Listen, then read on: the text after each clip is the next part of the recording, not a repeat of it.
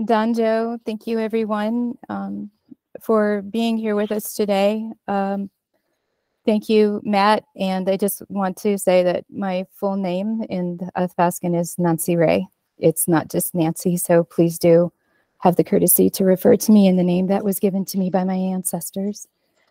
Um, I'm going to turn off my camera, but I do have smudge. In our way, it's not about being seen. It's about the words that we said in the intention. Thank you. Creator, hear our words. Prayers rise like smoke from the fire for our sisters, mothers, daughters, wives, brothers, uncles who have been taken from us, lost to the night. Their spirits call to us. They seek justice. We seek peace.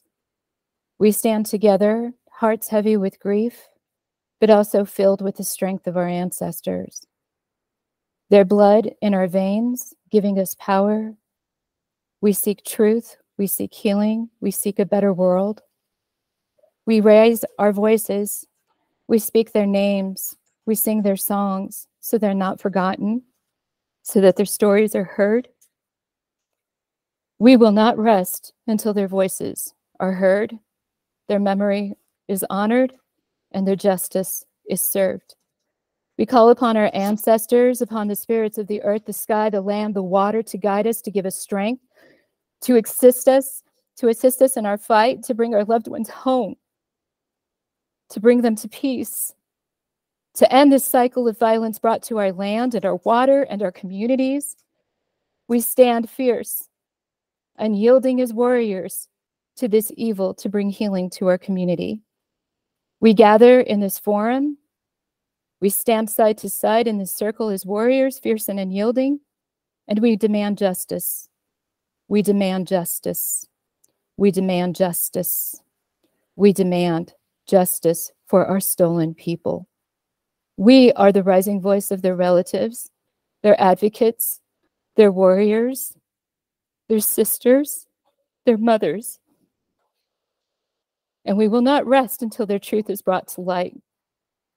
We pray for our missing and murdered relatives, for their families left behind, for the communities who wonder where they are, for the mothers who shed their tears in our presence, and we pray for healing, for strength. We ask for unity. And we stand together in this fight for justice with our friends at the State Department and the Colorado departments that are here. So allow our voices to be heard, Creator, as our prayers rise from the smoke, from the fire. Carry our prayers to their spirits so they know they're not alone. May our ancestors hear us May you guide us and give us strength.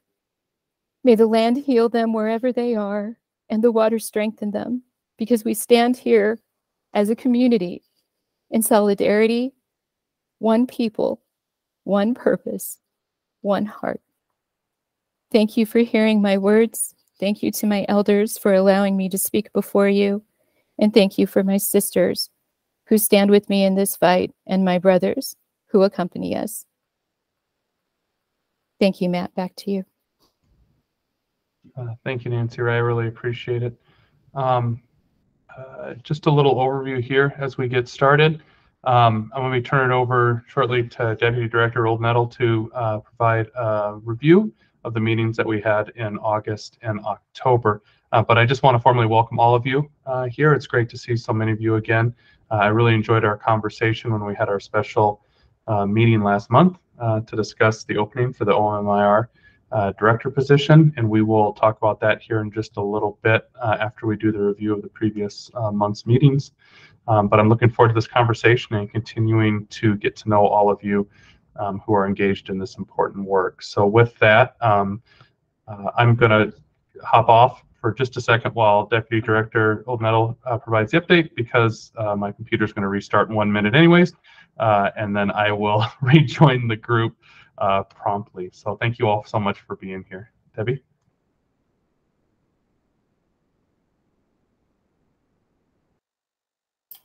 Whoops, thanks. Sorry, everyone. And I'm fighting a cold or trying to get over a cold, so I apologize in terms of my voice. Um, so good morning. Um, thank you for that opening prayer. And uh, in terms of the last, I'm just, I'm having computer issues too. Um, the last two meetings, am I, Adrian, looking at both this the special one that we held as well as the prior one in August? Is that accurate? That is, yes. Okay, thanks. Um, so in terms of the August meeting, for those um, who weren't here, we really, you know, spent some time talking about the overall agency, some of the challenges um, in terms of what's needed, and we hope to have from this group. There's quite a bit of discussion around um, what CBI has done in terms of helping to uh, educate and inform law enforcement agencies around the state. Uh, we talked about the jurisdictional challenges um, and how we can better educate um, both families, but law enforcement themselves about how to use the MIPA. Um, we also uh, introduced the advisory board page, um, and then we talked a little bit about possible topics for future meetings. Just so you are aware, one of them was human trafficking, and we are working to um, try and get a presentation. We have an Office of Human Trafficking within uh, Division of Criminal Justice but it just so happens that some of their regular meetings conflict with ours, but we will um, get that worked out in the future. Um, and again, I'm doing a very quick overview. As you know, the agendas, the transcripts, and the recordings are all on the website. And then as far as the October meeting we held, that was um, a special meeting called, and thanks to everyone who made themselves available on such short notice. But that was a call to really discuss the hiring process for the new director, what we have to go through in terms of uh, the state process and what we had planned as far as um, engagement, including having that meeting in October with all of you to hear some of the qualities that uh, you are hoping to see in the next director. Um, and we had we got a lot of good feedback during that meeting um, to give you an update as to where we're at. Uh, we should be having that um, job posted within the next week is what we're hopeful. If uh, depending, it may go into the following week. Um, one of the pieces that I believe we spoke of, um, or I spoke about, was the um, we want this to be a, a national search as we did before, with a little bit longer period of um, having it open just because of the critical nature of this position. And so in order to do that, we have to get special approval for it to be a national search um, from a different um, state agency. So we, excuse me, we are waiting on that approval. Um, but are hoping that we'll get that in the next couple of days and then we'll get that posted. So that is a very quick and brief overview. I don't know if anyone has any questions or if anyone would like to add to that uh, overview.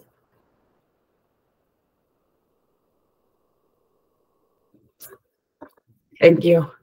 Good timing, Matt. Well, you wrapped it up just in time. Perfect. yeah, I, that was all planned. well, very good. Very good. Well, I believe next on our agenda is to talk again about the process for um, bringing on the next, selecting and bringing on the next um, director of OMMIR. And so we've had some of these conversations with many of you um, in um, public forums and, and in individual conversations as well. And we are getting ready to post the position. So the paperwork has been submitted to uh, Department of Safety's uh, Human Resources. I had a phone call with them this morning uh, to confirm a couple of items. Uh, and uh, where we're at right now, just for everyone's awareness, is um, we're going through the paperwork process for the approval so that we can do a national search uh, with the hope of having the position posted here um, in the next week or two. Debbie, you got a smirk on your face. Did you already cover this? I covered it. So, but at least we're consistent. So that's yes, good. Well, I'm glad we're on the same page. Yeah. Um, the um, the thing that we want to really talk with you all about is um, one of the things that's really important to us is to ensure that we have good community um, voice in this process. That's why we've been very intentional about talking with all of you in um, multiple settings um, to understand um, what you would like to see uh, from this office moving forward as we select the next director. And as part of the um, hiring process, we are going to have a community panel um, that will interview the finalists for the position. And so when those individuals are selected, there'll be two initial panels that folks will um, sit with. One will be leadership from um, mostly CDPS, um, but from other state representation as well. And then we will also have a community panel. And uh, what we would like from the community panel is a representative from each of the tribes, uh, a representative from the task force, and a representative from this advisory board. And so I wanted to open the conversation um, about how you all would like to uh, self-identify and select as a body a representative to be part of that process.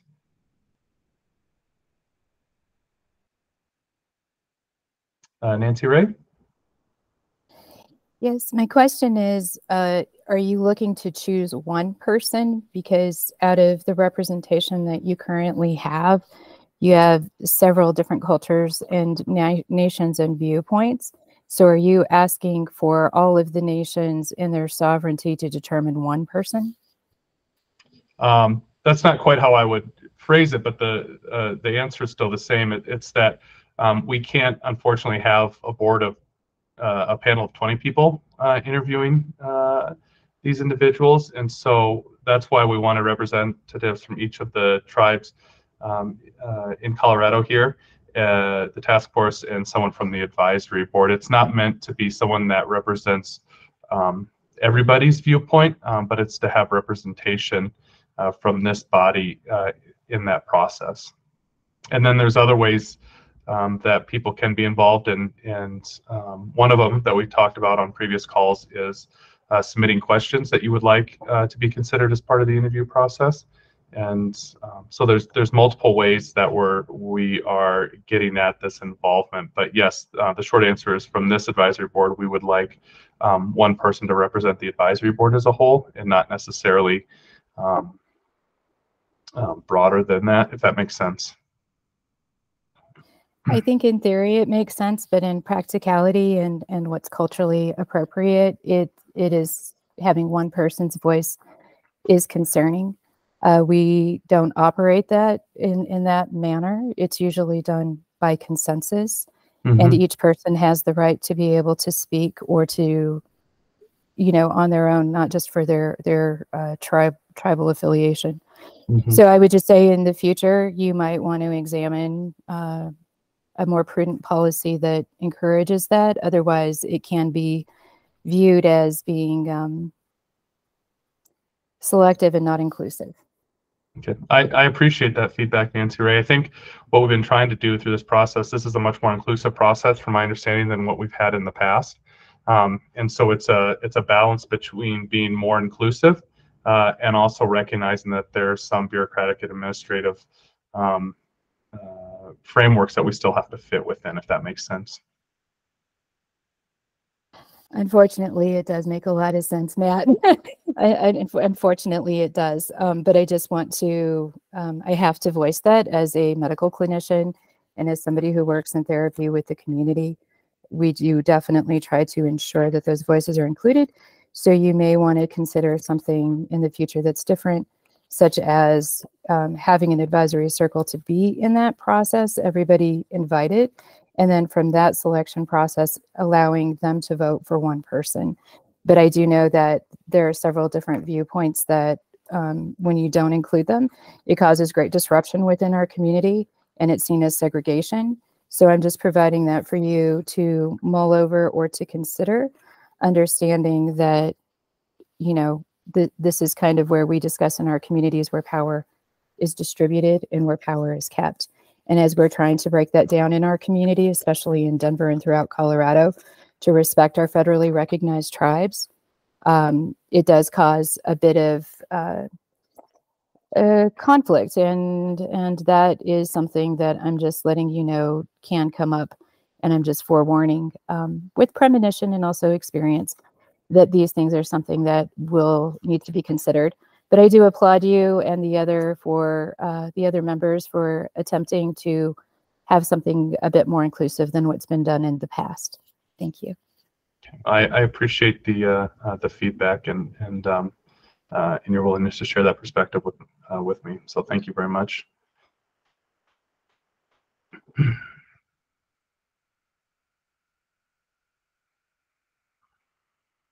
Anybody else have thoughts on? Oh,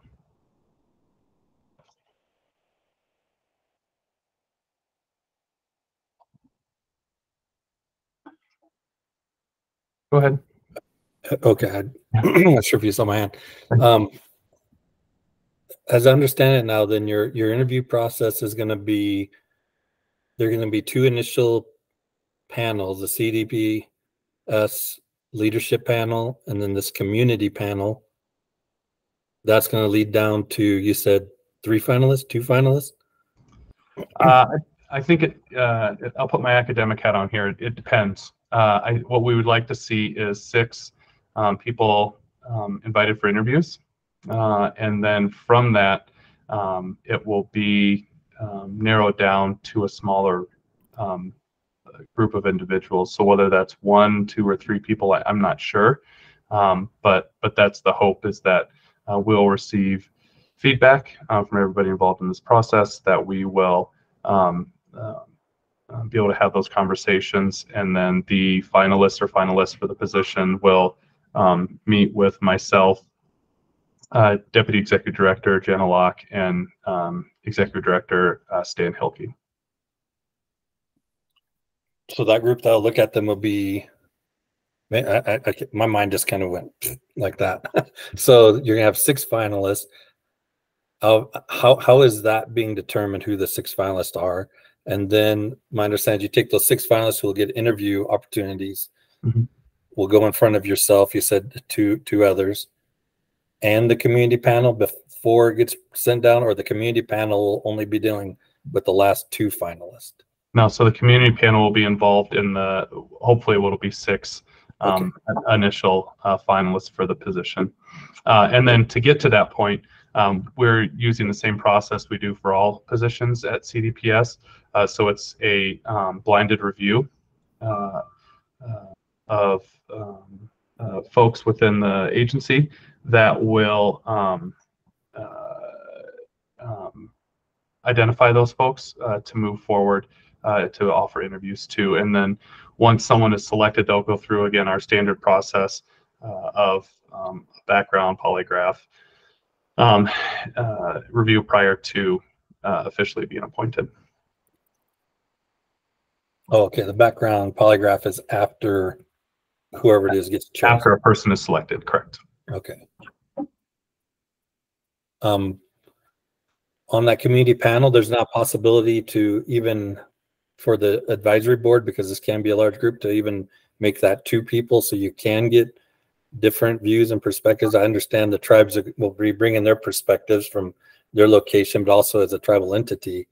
Um, that's not a possibility to just even, if you were to make two board members on there?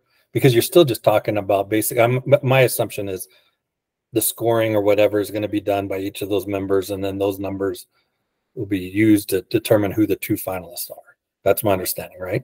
Correct, yeah. It's- Okay. a, it's a standard um, process that we use for our positions. Okay, and then the, um, the, this is my last question, sorry Debbie. The, my last question would be the, uh, position description is being used to determine the blinded review, correct? And, and does the, that, that description been made available yet? So uh, Debbie, do you want to take that um, uh, to talk about the position description and how it informs uh, the overall process? Um, I can let you do that, that, Matt. I was just going to add one piece. I don't know if this answers the question or not, but in terms of the, the process, so HR, our human resources department will go through all of the applications prior to even referring them to our office to see if they meet the minimum qualifications. And so, you know, as most of you know, well, it depends on the position in this job market, but we could get, I want to say the last time we got like maybe 30 or 40 different applicants, but of those 30 or 40, they might not meet the minimum qualifications. And so then those get whittled down and then sent to the division for what's called a subject matter expert review. And that is a panel of people um, that are chosen to review the applicants and then uh, whittle that down, for lack of a better term, to the six possible candidates to be interviewed. Um, and typically, that subject matter uh, expertise panel that reviews those are internal um, to the department, um, is the standard practice. Uh, and I don't remember or recall if we uh, spoke of this, Matt. I feel like we did, but the there is a possibility of having someone from outside participate in that process. But I think we'll run into the same kind of quandary that we have here in terms of how do we determine who that subject matter expertise uh, expert might be in terms of reviewing those applications. Um, and yes, it's the the wonder of the bureaucratic process, but I'm just throwing that out there. Um, typically, they require a minimum of two SMEs, uh, but to review the applications. But in practice, uh, that's typically three. And so now that I've said all that, I'm not sure what Phil's question was, Matt, but I was focused on wanting to help with that initial piece. No, I appreciate that, Debbie and uh, Vanessa. You had your hand up. Yes, uh, good morning, everybody. And um, thank you, Nancy Ray, for the invocation this morning. It's always good to start off a prayer uh, for a meeting. So I guess my question, I was on the panel last year and um, I wasn't too sure how, I, I, know there was more, I don't know if there was six of us or what, but is, is this going through the same process as last year? Because I know we have, um, there were some social workers on there, but also we do have our MMIR task force for Colorado. Are they being going to be a part of it as well? Yeah, so uh, one of the um, mentions I um, highlighted earlier, Vanessa, was that uh, we had, after discussions with stakeholders, identified four um, seats for that community panel, if you will. Uh, one from each of the tribes, one from this advisory board, and one from the task force. Does that answer your question? Yes, thank you. Okay, perfect.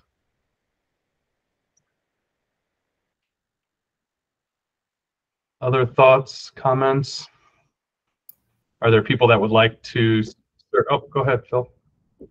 Uh, for the SMEs, then, um, where do they tend to be coming from? Because if they're one of the bigger areas where we get a funneling, I guess that that's one area where certain people that I think at times we, are like, well, they don't quite match what you see as whatever that area you're coming out of because this this position is something that's not out there now if you're using smes grabbing you know let's say utah has a, a ommir type person and that's your sme then sure um, i guess that's that becomes my question. What the smes what what, do, what is the subject matter expert on this that's being defined within cdps yeah that's a great question. So um, it, it really depends.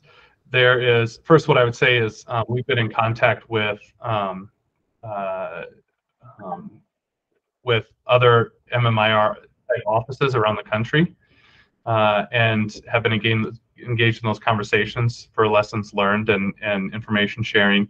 Um, so moving forward, I think that's a really impactful group um, that's going to do a lot of good um, within this space uh, and really help um, not only us, but it gives us a way to um, uh, share our experience uh, with other offices and, and uh, folks associated um, uh, with this space. Uh, in the past, the SMEs can vary. I, am going to turn it over to Debbie here in a second because she has a lot more experience in the um, at the state level than I do with this process.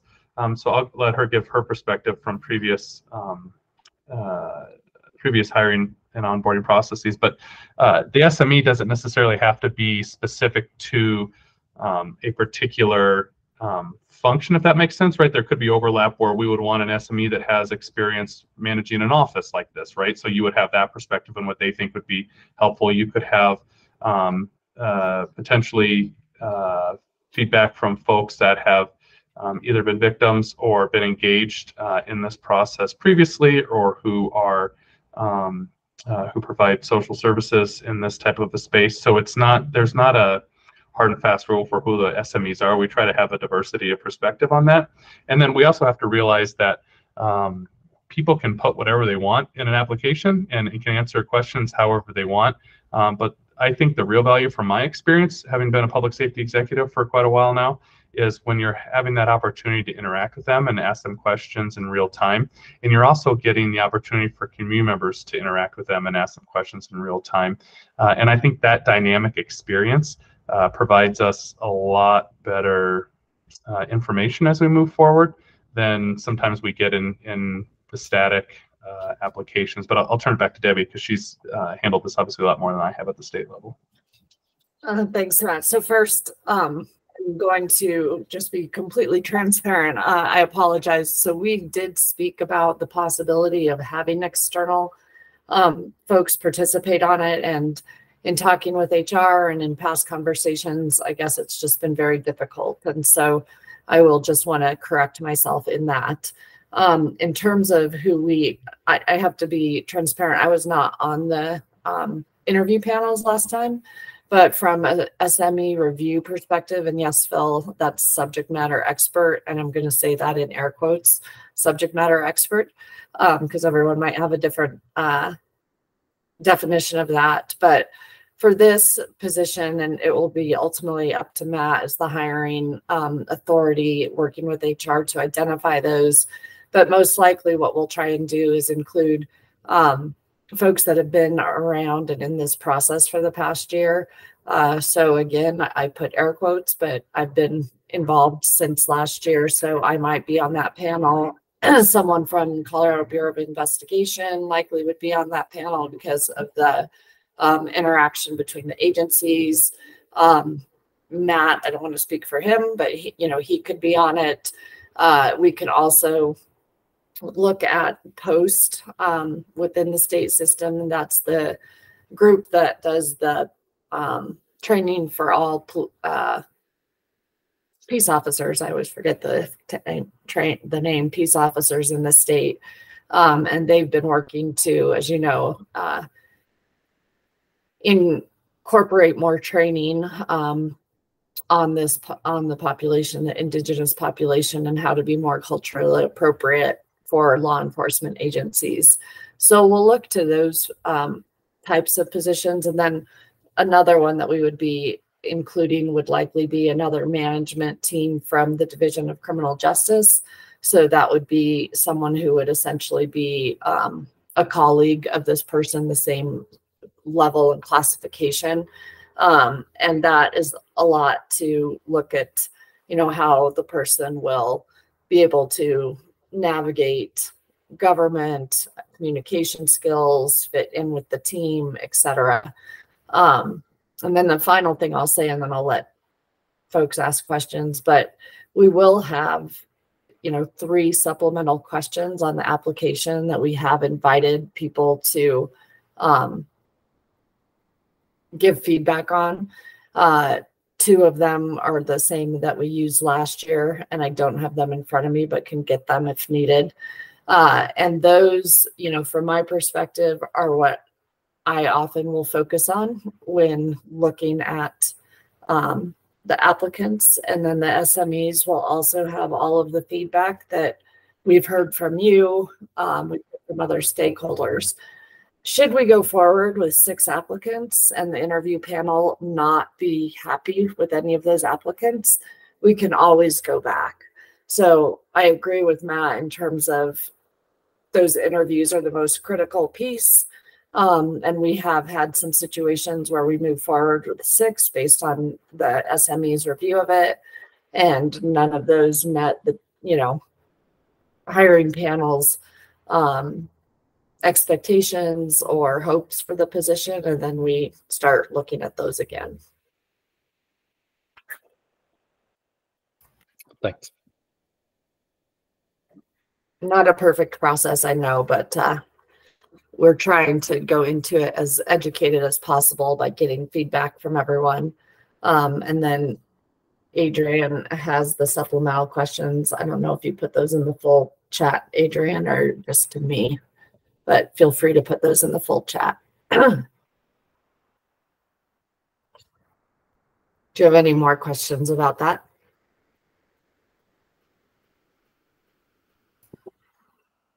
I- don't.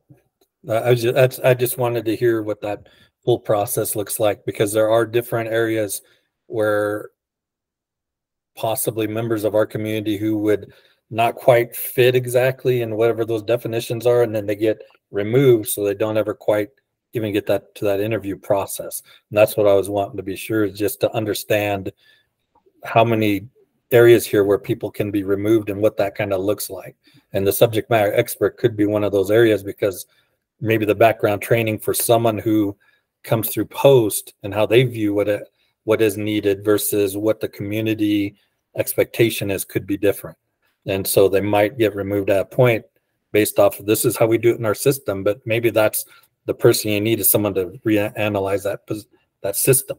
And that that was that's the only concern. But it I do agree that when you get to those six finalists and it it's not meeting, especially if the community panel is saying this just doesn't work for us, any of these people, then um, then yeah, that that's yeah, we can go back. Uh, it just takes long. It, it will, you know, lengthen the whole process. But that's why I want to be aware of it, so we understand who those subject matter experts are, so we could know at least what critical analysis they're putting towards those to know how these may have met that to then move to the interview process. I, I think to me, it's just the transparency of what that looks like. And I know HR is involved in some of that's like black box. It goes goes in there. They do what they do, whatever that is. Mm-hmm. Sometimes some of it's definitely tied into to the law and what's expectations and these these other things that the governor probably sets out as expectations. I just that that way in my own frame I can think of how that worked to get to where who are these six and and, and what kind of hurdles in a sense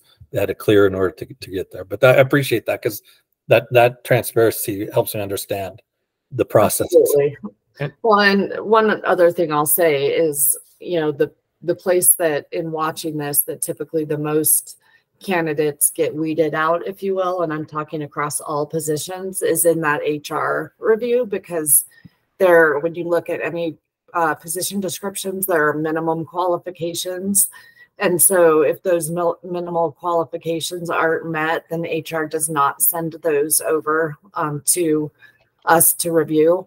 And then the second piece is that this process um, is taking longer than normal, but part of that is um, purposeful in that, you know, we want to ensure that, you know, we are getting the stakeholder input, input from all of you to understand what that position, um, what the characteristics, the, you know, skills, abilities, et cetera, are being, you know, looked for. And so that feedback has been critical, you know, to me personally. So when reviewing those applications, that will be taken into consideration, um, if that helps at all.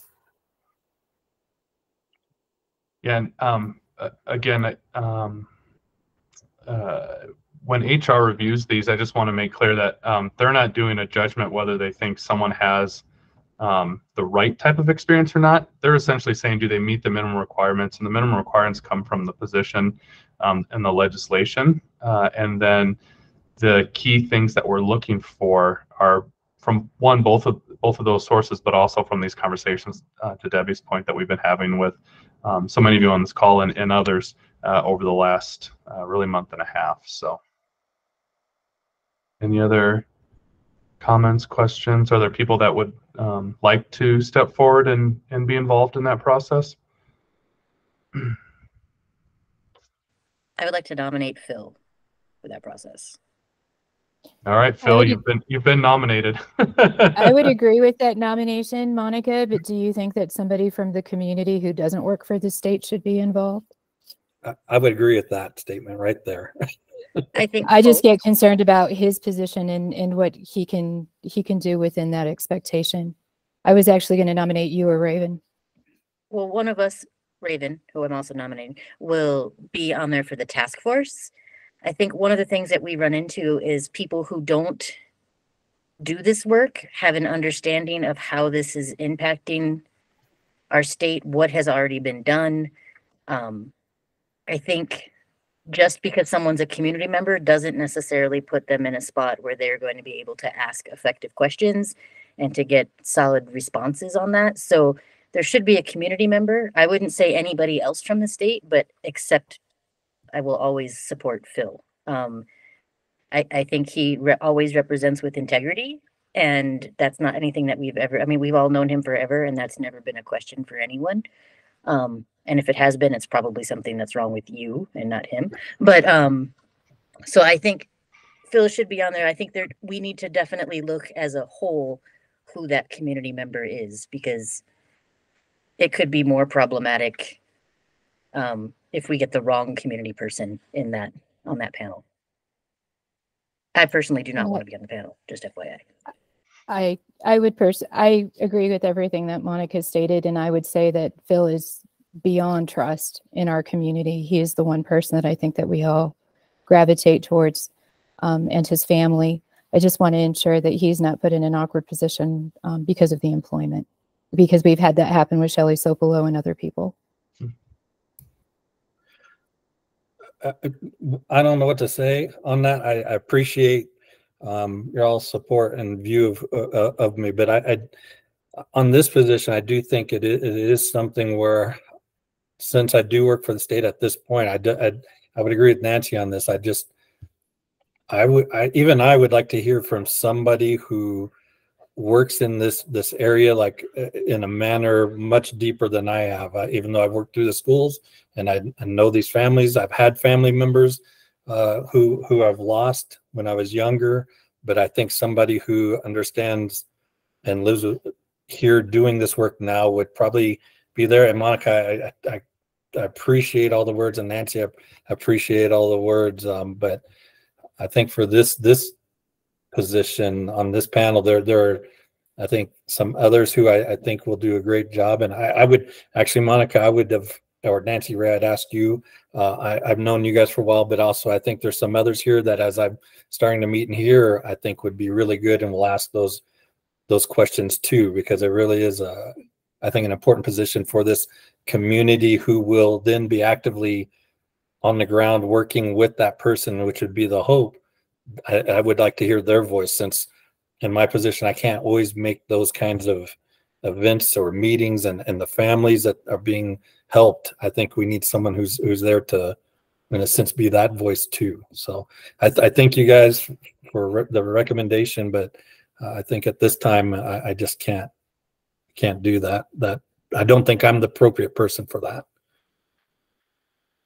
Well, you're a solid plan B, just accept it.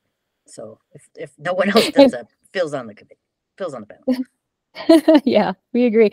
But Monica, again, I would agree with Phil. I I would say that um, in terms of really understanding what's going on, uh, even though we have a member of the task force, I would also agree with Phil and say that um, for the Denver and Colorado Springs and Colorado wide community, you're you're a natural choice because you do know and have been involved with the legislation legislation piece, and it doesn't compromise you um, in your position. Uh, I know capacity is an issue, but I would ask you and the others to consider um, supporting you, especially that you and Raven do work really well together, and we are always getting reports and the things that we need from you and from her in other committee meetings. Um, so I just wanted to say that uh, Phil is definitely my number one choice, but so are you. I, I think I'm, I, I, appreciate that, I do, but I don't think, I think maybe someone from Haseya, unfortunately, there's not, everybody, this is a topic everybody is very passionate about, but there are actually very few people doing the actual work. Um, a lot of people talk about the work, but they aren't doing it. Um, even if they claim publicly that they are. So I think trying to find someone who from the community who's actually involved with MMI work in the state of Colorado is going to be challenging. Um, Haseya, I mean, we are the only DV and sexual assault program, but that's not that's deep that's MMIR prevention. That's not necessarily MMIR work. Um, that's separate for the task force, but I mean, I, I think we have a little bit of time to try to figure out folks and see who would even want to be part of that process. I agree. I think that's wise, Monica. And thank you for considering it or considering an elder or another member that you guys work with, maybe that you might be able to recommend, because I do agree with you. It is definitely different when you're involved day to day with the criminal aspects of the work and the families. And it's not something that I see um, and agree with you that there are many people who talk about it, but I'm not seeing those active except for the people that I've mentioned, which is you and Raven and your commit and your task force. Would it be helpful, because knowing that we don't have everyone here today, would it be helpful to um, send out a message uh, to the entire advisory board and uh, provide a platform for folks to um, self-identify and then you all can work as a as a group to select um, an individual individuals be a part of the process is that is that a um, agreeable step forward here I think that's a great suggestion, Matt. I think that that that is very much more what I was talking about about the inclusivity of that decision making for that person. Okay. Um, so thank you. Well done. Well done.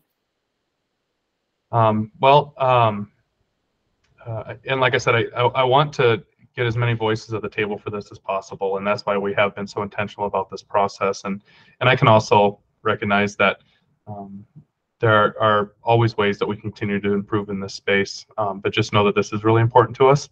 Um, and so, any ways um, that we can continue to be better uh, as we continue our relationship here, I, I really want uh, and appreciate the the open dialogue associated with that. Um, so Adrian, is it okay if we make a note of that? We can send out something after this meeting um, to try and bring in additional voices. Yep, absolutely. I will, um, if it's okay with everyone, I'll create a Jotform um, that will allow you to, um, it'll list all of the advisory board members. And then if you want to select someone, or if you want to self-select, or if you would like to not be selected, um, we'll give everybody the options and I'll send it out after the meeting today. I just personally wanted to add, I don't have the capacity to join um, in that type of a process at this point in time. And thank you, Phil. Um, and thank you, Monica, for also being able to speak to these things.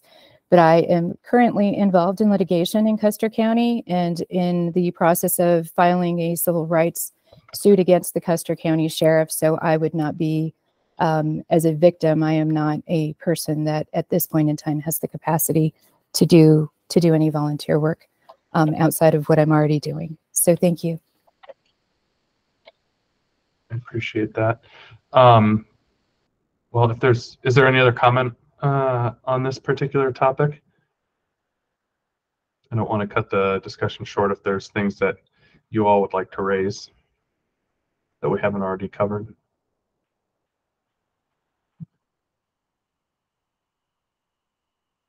All right, uh, hearing none, uh, I'm going to turn it over to Phil, uh, who is helping put together the report that the legislation requires from the advisory board.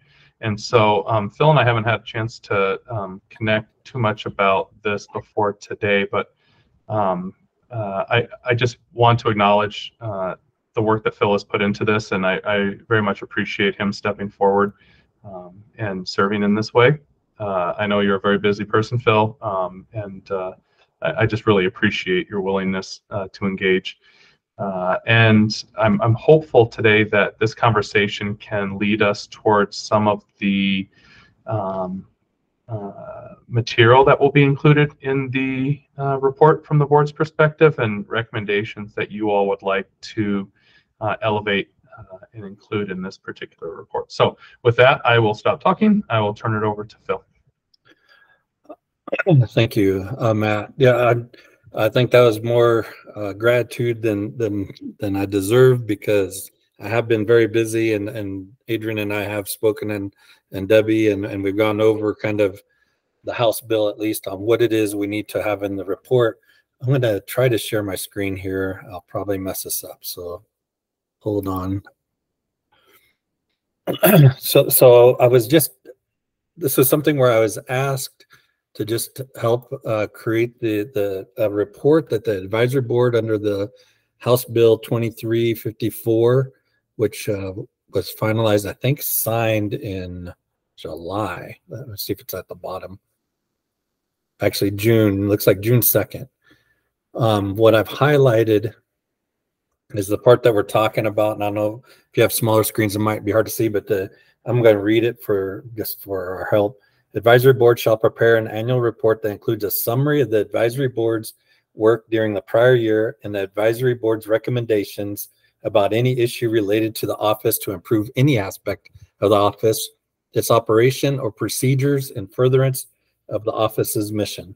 No later than December 31st of each year, the advisory board shall submit the annual report to the House of Representatives Judiciary Committee and State Civic, Military, and Veterans Affairs Committee and the Senate Judiciary Committee and State Veterans and Military Affairs Committee or the successor committees. And then it's notwithstanding uh, 24 1 136. Actually, you know what? I haven't even looked those up, so I'd have to figure out what those those are. The reporting requirements specified in the subsection 4D continues indefinitely. So my understanding in looking over this part was that, and I believe it's just we need to create as the advisory board a report that at least talks about what recommendations kind of tells the work that we've done this this past year. I believe uh, what we heard from the governor's office, and Debbie, you might, you're, you, I think you're the one who sent the information. Was it's going to cover the the annual year, January 1st to December 31st. So it was any kind of work, but the advisory board has done this whole calendar year, correct? Correct. Yeah. so the, the the issue becomes and and my request was I was going to try and help create at least a synopsis of the meetings that had happened prior. I, I've just been I just didn't have time. Um, so what we're going to try and do uh, is still create at least a a synopsis of those meetings and that information that came out in the meetings. But what, what we're asking for from the advisory committee is a little bit of help. Uh, well, actually, uh, this is actually we need the advisory uh, committee here, advisory board, to help create what do we want in this report, what kinds of things um, you feel like were recommendations that were given, improve the aspect of the office, its procedures, all those different things in the in the mission, and then um,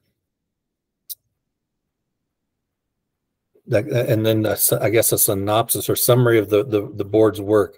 Uh, that seems that is pretty limited actually. Now that I look at it, because it's right the advisory board's recommendations about any issue related to the office to improve any aspect of the office, its operation or procedures. So if there were things that anyone may have even sent over, I think that the that the office would have looked at, that Aaron would have looked at prior to leaving.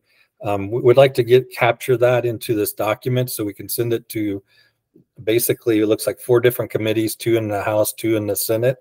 And, so, and I think that's so they can be aware and have another place for the advisory board to send information regarding uh, the matters that, that we've looked at.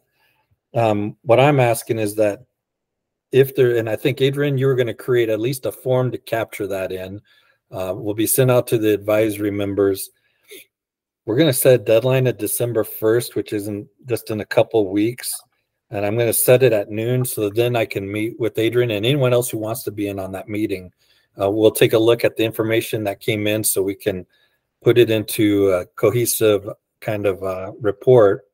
Um, anyone who would like to be a part of that, um, Adrian, actually on that form, if you could put um, my email and they can email me saying, hey, I'd like to be also a part of that that look at the information that comes in because I think the more minds that look at it, the quicker we can resolve and make sure that this report's done quickly. Um, that meeting would be on December 1st. I think on the calendar here, I set a time for Adrian and I to meet from 1.30 to 3.30 to look at the information that comes in and then format it, get it into a current form uh, of all these different views and takes and then on December 4th, we'll send that out to the entire advisory board. And Matt, I, I know you haven't probably heard much on this because this is something we've just formulated because I got too overwhelmed in my own schedule. but December fourth, then we would send that out back out to the advisory committee to look over and say, is this what the board wants to send? The assumption will be we'll send it forward unless you have concerns and then email those concerns. And then um, we'll, we'll go through that and send it back out to the, the board, to the board and hopefully have a final December 12th uh, completion of all the edits and everything else from advisory board members on, on that, just so we can send over that, uh, that report that's required by House Bill uh, 2354. And then I think in the future, what we need to do in February is the very first thing on the agenda is pick two, three, I'd, I'd say about three people, just in case somebody leaves and we just don't want it to become then something we have to do later, but plan out what that process will be for creating the report for next year so that it's something that gets worked on throughout the year and it's just a quick finalization at the end of the year. But that I think will be for the February meeting. And that way we can be in front of this. Uh, Adrian, I'm probably missing something in our discussions. If I missed anything, that was kind of the general idea at this point. Nope, you're good. I've just been typing it into um, the chat um, for people to have the timeline. Um, I also put the meeting link in there. If anyone would like to email um, or chat me, um, I can add you to that meeting as well. Um, but I'll include Phil's email on the form.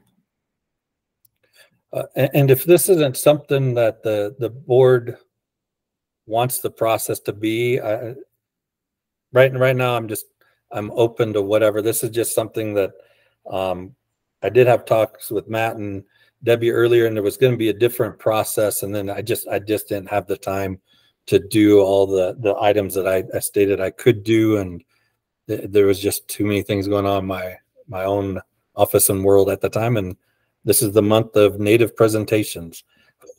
so evenings got taken up too. Um, so any, any input now I'm, I'm open to, I'm going to go ahead and stop presenting on this, but suggestions, ideas, a better way of process, I'll, anything, we just got to have this report done and turned in by December 31st. But as, as you're all aware, everything from the 25th through the 29th, because I don't think, I think the 31st is, yeah, Sunday.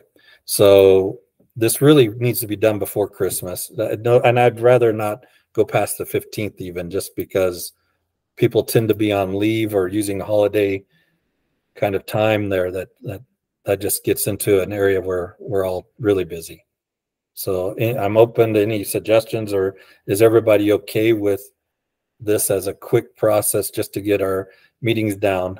And Adrian has at least uh, gone through and given uh, a form where we've started um, getting at least the highlights of what the meetings were and even Debbie's uh, statements here for the August and Oc- October meetings is kind of what we're looking at.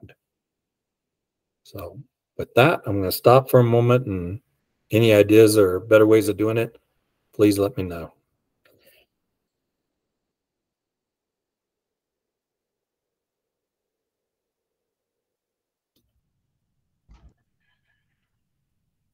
I would be, well, first, thank you, Phil. I really appreciate that. Um, are there things that we would like to discuss or that you all would like to discuss as the advisory board um, to um, get the conversation going as far as recommendations, or would you like more time simply to reflect and, and utilize the, the job form uh, that will be sent out to the group? Yeah, that's a good idea. If we could capture anything even by, by voice right now would be good and we'll include that. That way you don't even have to take time to fill out the form. We'll, we'll have captured it. I'm not formally on this advisory board. I just eavesdrop on these calls. So if there's anything for your report that our task force can help you with, or any data or anything that you need, we're happy to work with you on that. Yeah, I think when Adrian sends out that, that form, then if there are certain numbers and things, uh, that would be good. We could, we could put that on, on there. And our What- what- task I made force, the comment. oh, I Go was ahead, gonna say our task force tracks a few numbers that are different than what the is are on the dashboard. So we have a more inclusive list for Colorado um, than what the OMMIR office currently is tracking.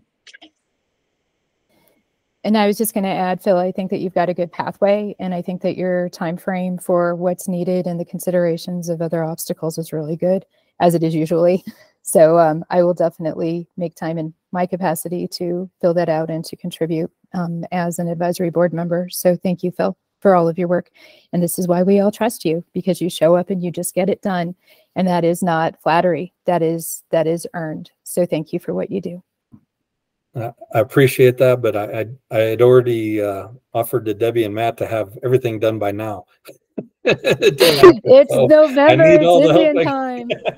It's Indian time. Don't worry. I know you've been doing all the powwow trail and getting all of that cultural uh, uh, connection to families going. And we see you, Phil, and, and we love you. And we want you to know that every one of us feels the same about you. Thank you for taking on the additional work, sir. I- appreciate that. So if there's anyone who even right now, if you could just even name some of the things that we're aware of that the board definitely supported and helped, even though we'll go back and pull it out of the, the meetings. I have to say, I, I, I, I- get through these meetings sometimes and then I jumping into something else and some of that gets lost in memory unless I see it written later. Is, is there anything that everybody remembers at this moment that you're like, hey, don't forget to include this? That do you recall from any of our prior, prior meetings?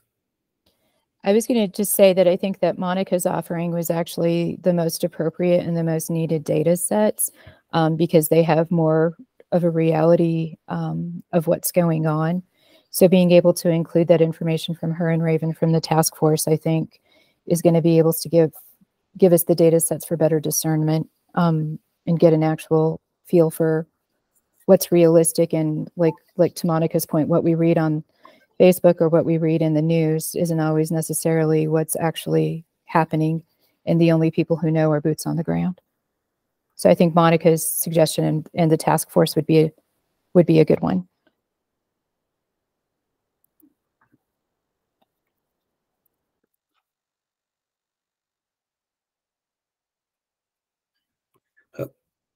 Thank you, Nancy. And I, and I, I, agree. And I think we'll, we'll probably title it something like the advisory board takes note of uh, and that, that, that other, um, bit of information that's available also uh, possibly. Um, the one thing I can also think of is we had the discussion about, uh, the position. Uh, I think we'll make sure we're highlighting that, that there was a special meeting in order to take that into account. The discussion today about the hiring process and recommendations that were given.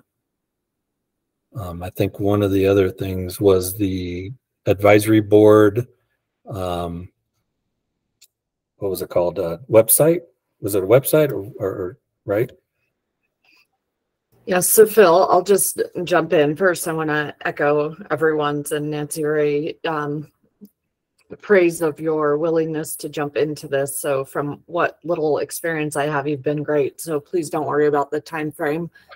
Um, in terms of re- remembering and making sure we capture everything, Adrian, um, as all of you know, does a tremendous job. And just in going through the website, you know, we've captured, um, we ha- have all of those minutes and everything captured, and we're more than willing, um, as Adrian has said, to help with that, you know, in terms of bringing that information together for then you and the board or whoever you choose to look at it to make sure that you feel it's an, um, you know, adequate representation. So I just don't want folks to feel alone in this and that we're here to support you in developing the report and we'll have a lot of that historical information and kind of the um accomplish accomplishments along the way. I appreciate that. No, that, that does need to be said. The, the, your office has been hugely so helpful because uh, uh, the heavy lifting is being done by your office and I, and my part was to be just even to go and review and that didn't even happen on my end.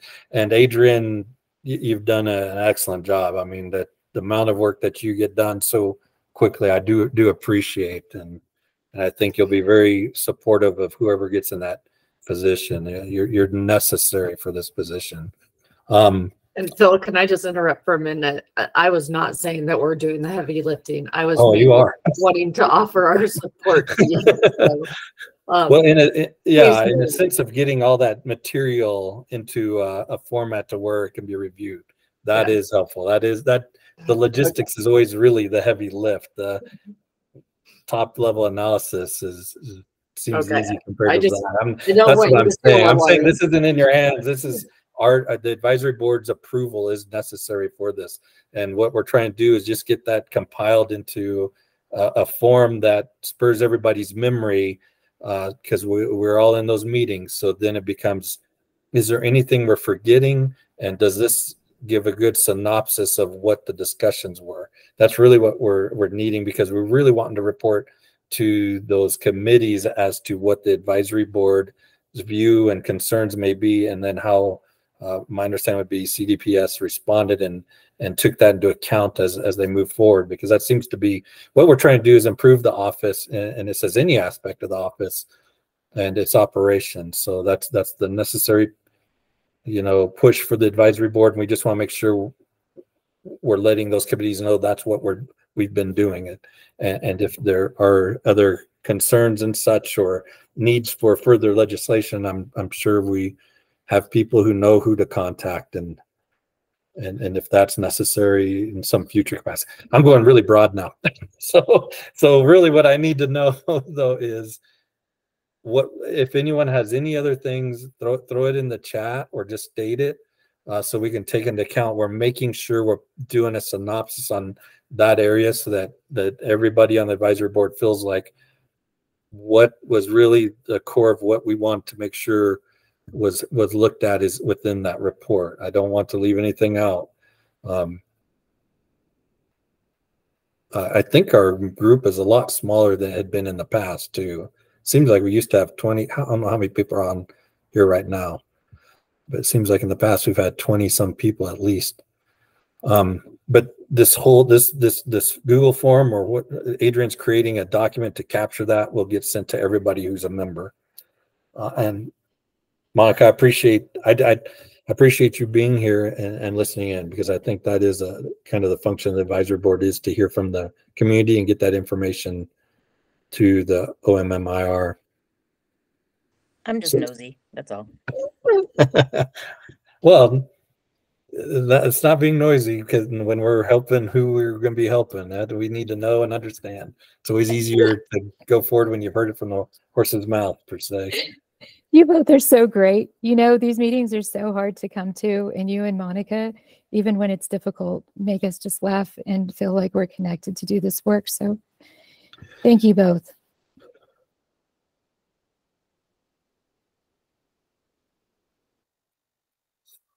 Anyone else?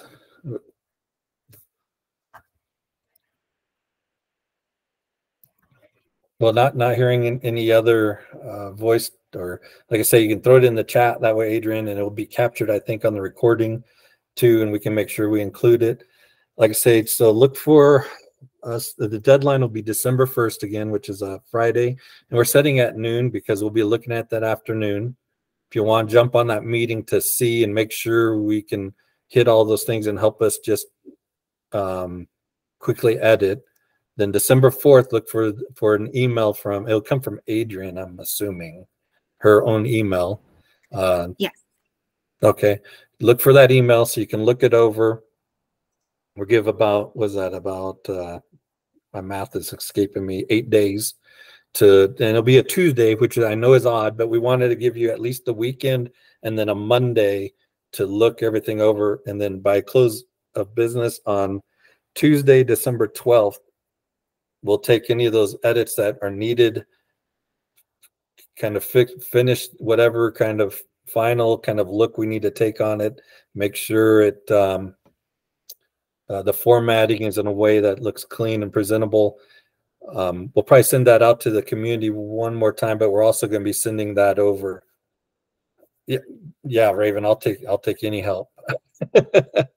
um, uh, Adrian, actually, so so whatever comes through, um, and, and Raven, you know what? I'll, I'll set up a meeting too, so that you, you can help me do kind of the editing and, and looking over of, and, maybe break up some of those um, meetings.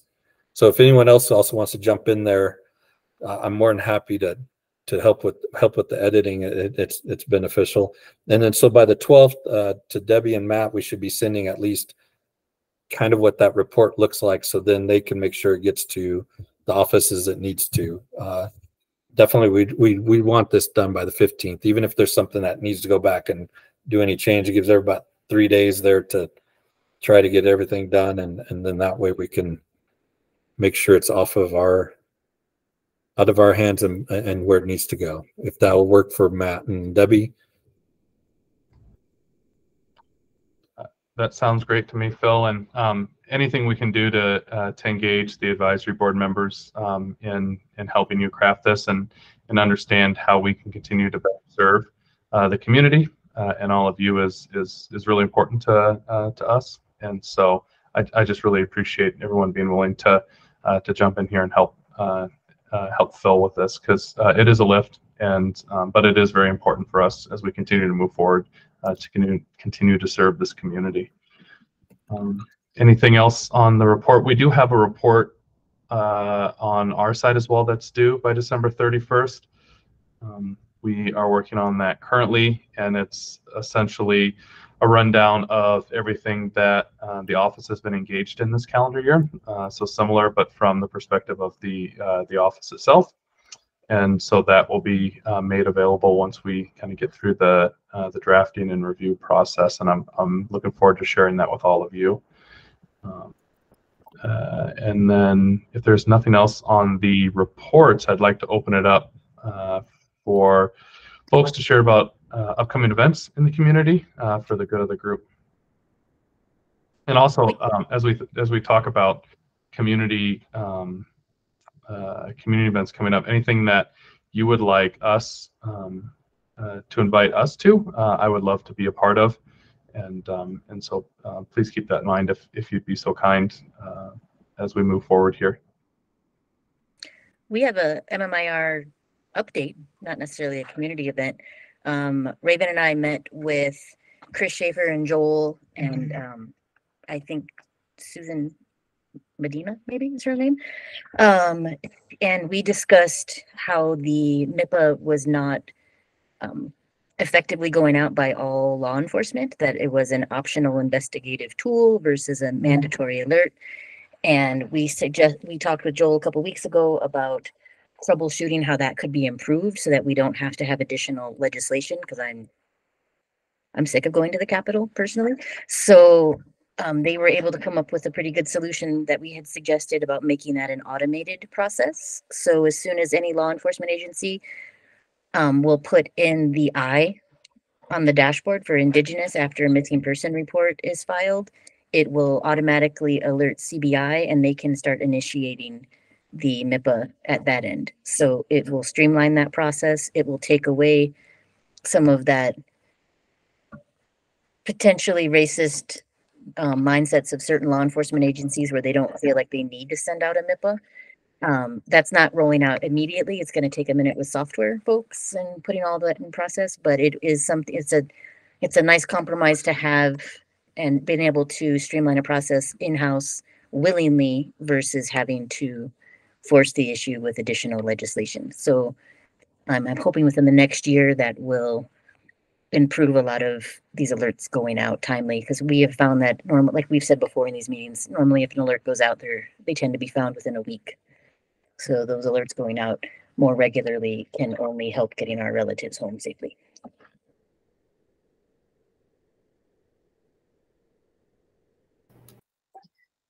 Thank you, Monica. We appreciate you sharing that update. So I look forward to working with Melissa and Kirby and um, the alerts team to see how that process is going to work. And maybe um, I can get a little information to share with the advisory board. So thank you.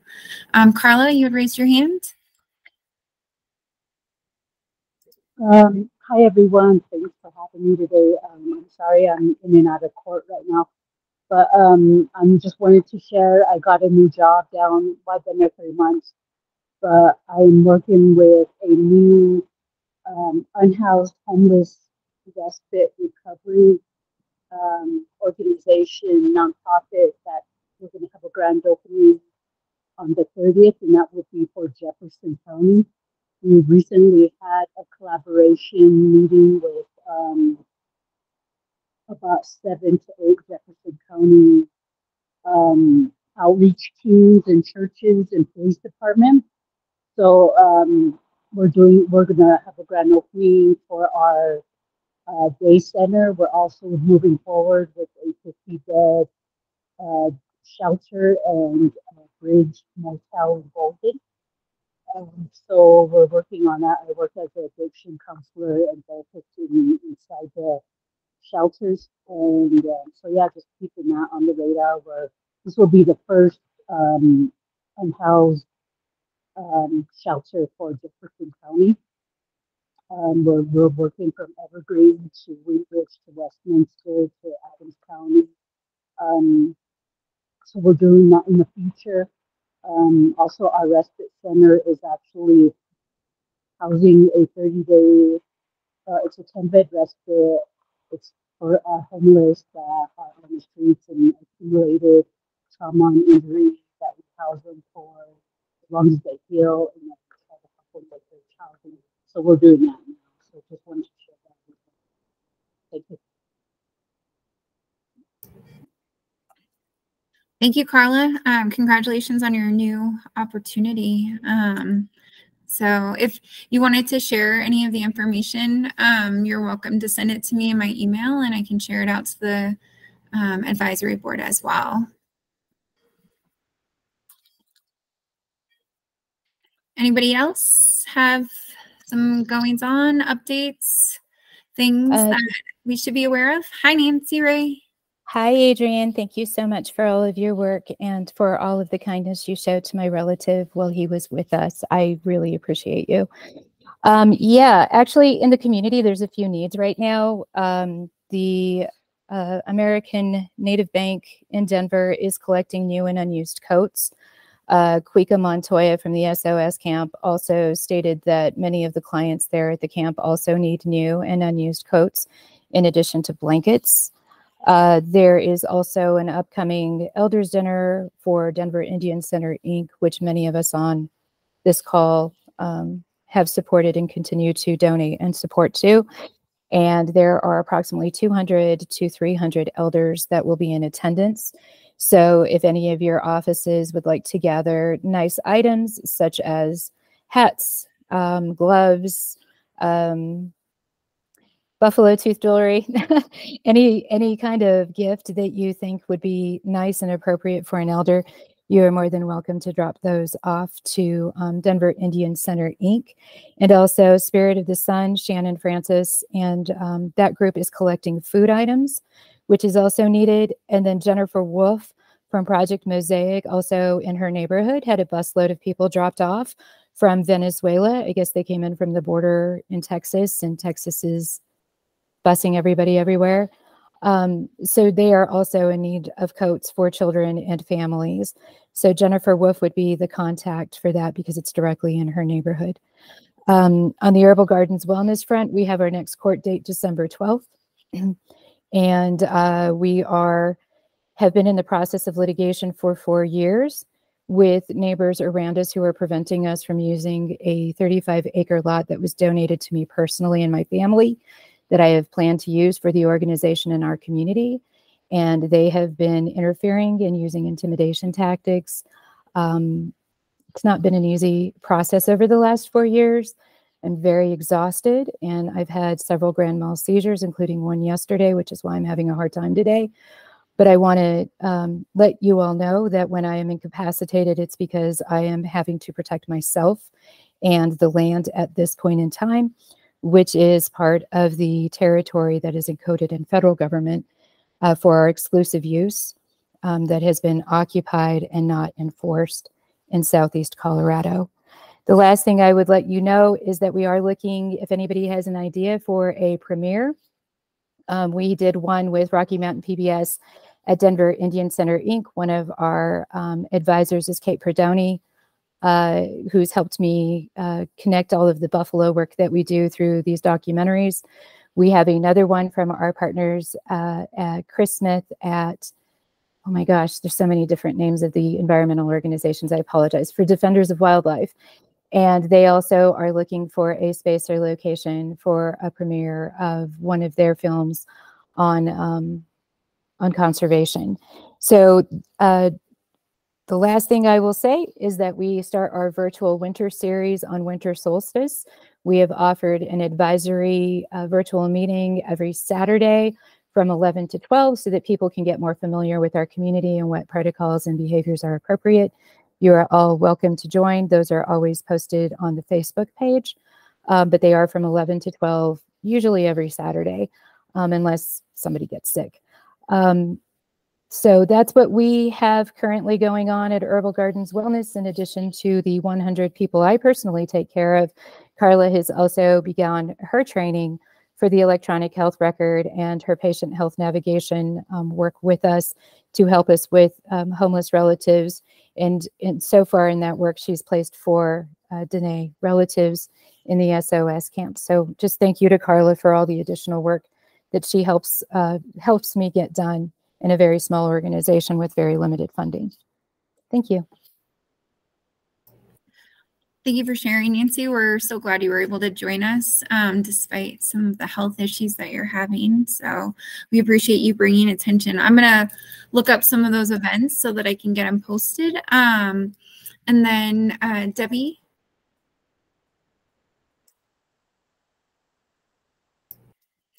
You're muted, Debbie.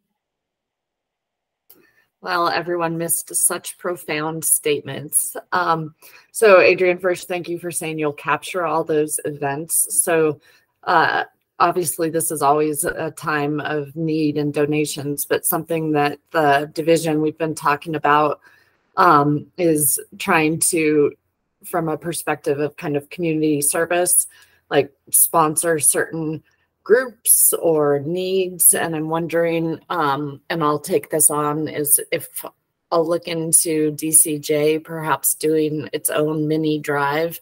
Um, Nancy Ray to see if we can collect like coats and some of those items you mentioned. Um, I can see if we could do it at a more department wide level, but obviously have more control within our division and no promises in terms of how that will turn out. But um, I'm assuming it's not a uh, specific deadline because there's always an ongoing need. Um, so correct me if I'm wrong, but it's something that uh, that I'd like to just put out there as an opportunity. Thank you, Debbie, because every little bit helps. And the more that you spread that among your family and friends, your church groups, or your allies, and it just there are definitely physical locations for these drop-offs. They're definitely welcomed anytime. Um, one of the most difficult challenges that we face at this time of year is do we keep people warm or do we feed them? So that is not an easy place for people who are self-sufficient autonomous and capable of hunting to provide our own.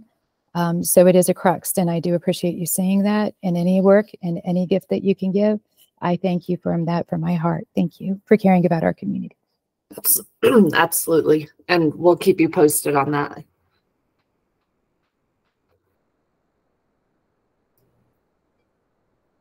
Um, if nobody else has anything they'd like to add, um, oh, Jennifer um, added um, the CCIA in the chat with a community events cal calendar. Thank you for sharing.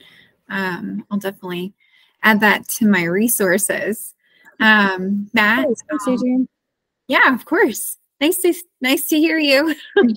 it's good to see your face. Um, Matt, I'll turn it over to you. Yeah, thank you. Um, uh, actually, uh, Jennifer, uh, if I can put you on the spot, do you want to talk about the calendar a little bit and how people can um, add events to it? Or if the community already is well aware, then um, we can move on. But I think it might be good information uh, for the group if. Uh, sure, absolutely. Um, I appreciate the time. Um, so kind of as a result of our AIA and organization calls, they're they're a monthly call for community organizations to jump in and kind of just share resources and opportunities and, and community events that are coming up.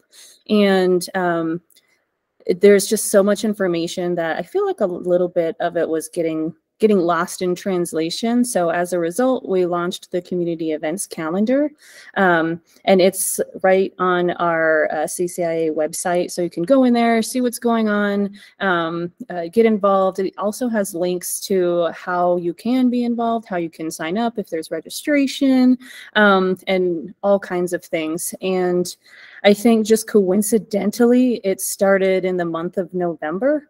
Um, but uh, we don't want it to be like a Native American Heritage Month thing because Native American heritage should be celebrated year round. So, um, although it's coincidental that it started this month, it's something that we are in, anticipating having uh, year round. So, if there's anything that you know that's coming up, you know, later in the year or um, coming up soon, or even just kind of thoughts of getting things started, let us know. Send us an email or um, just just ping us. Let us know, and we'll add it to the calendar.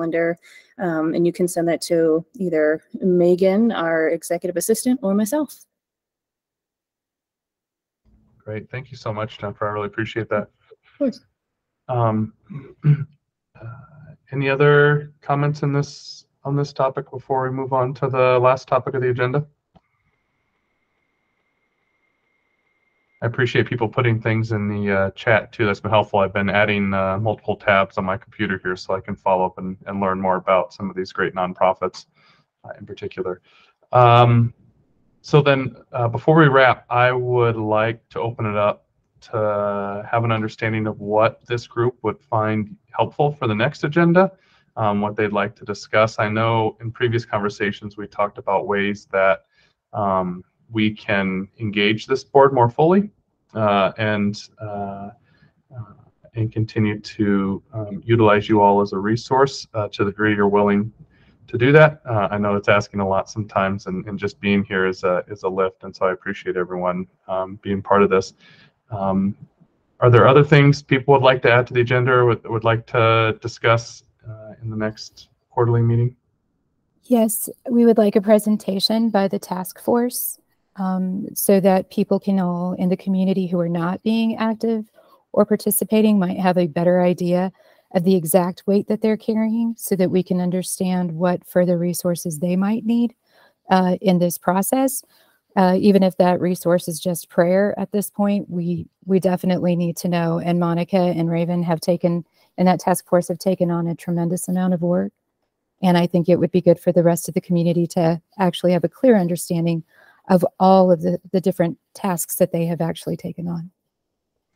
Well, Nancy, how convenient. We just sent a presentation to Matt, so we can see, see, Monica, you're always ahead of the curve. I know we always talk like that to each other so sharp, but you're always ahead of the curve. And that's why I love you. Thank you for doing that. Awesome. I really appreciate though Nancy voluntolding us to do that because I was like, that is an excellent idea. And then I was like, oh wait, she means me. Thank you, Nancy Ray.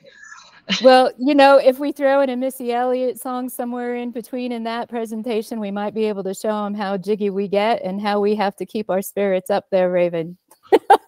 so thank you. Love you, sis. Love you, sis. Love you too. Thank you. Well, that's wonderful. And uh, I will check my email.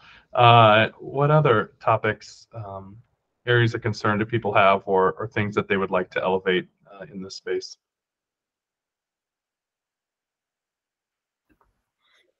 Hey, this is Jennifer from the CCIA again. Um, I love that recommendation from Nancy Ray, and I would even go uh, just a tad bit further to say, is there any way that we can get some additional, I guess, just clarity on the various task force advisory boards and other things going on that how we can, I guess, crosswalk who's doing what, what education is out there to support that, and how this group can support the work going on in other areas, or how how we can all just kind of be on the same page and supporting each other.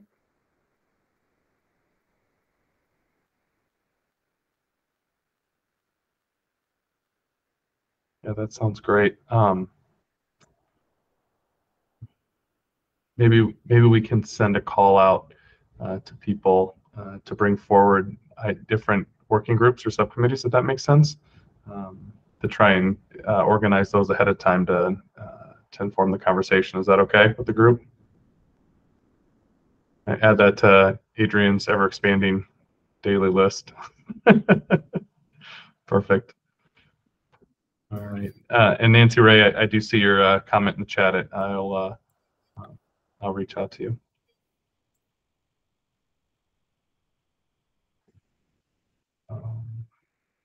Anything else that people would like to put on our radar for uh, conversations coming up?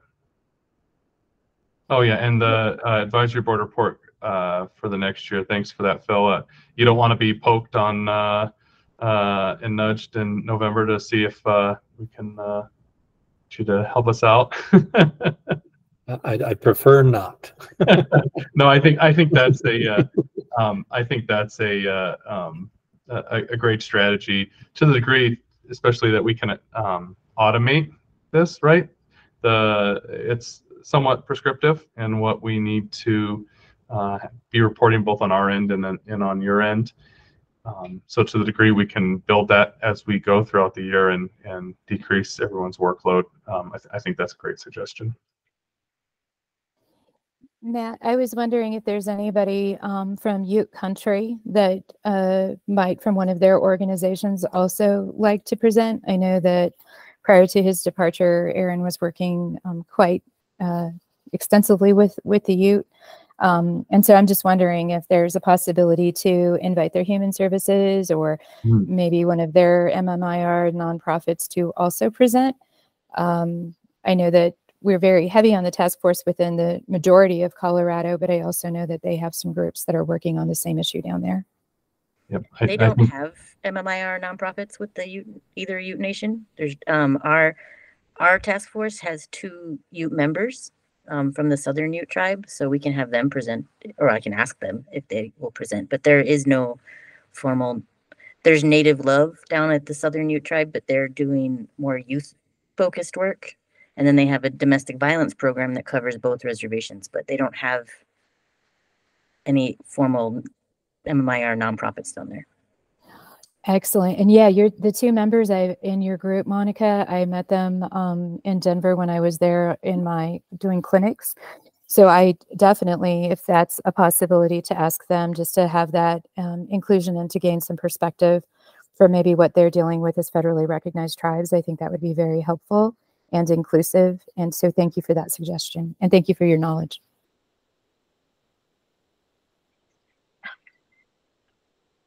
All right.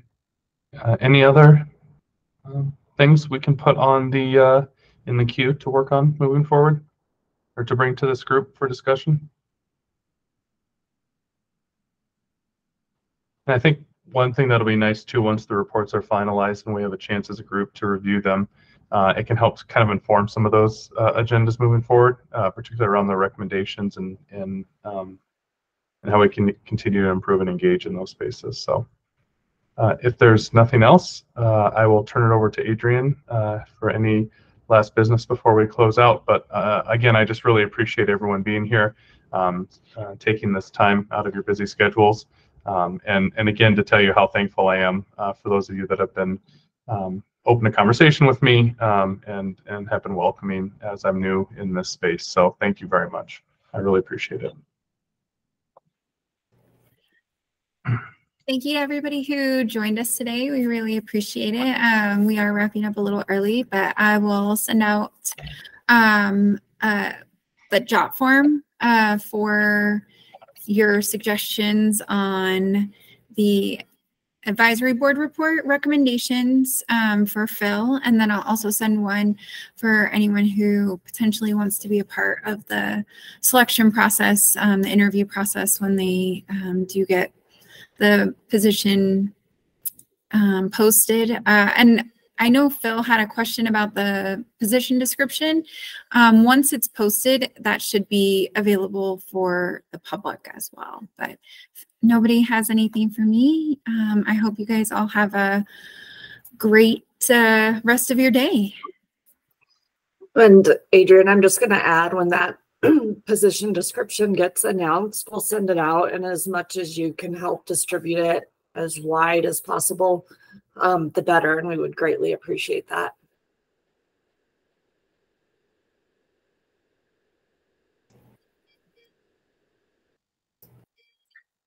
All right, folks. Have a great uh, rest of your day. You guys have a wonderful day. Many blessings to you, and thank you for all the work everyone does. Phil, I miss you. See you in January. Bye, everyone. Thank you.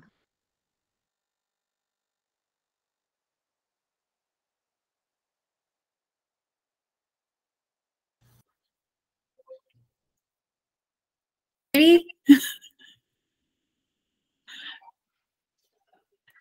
Did no. Okay. Super.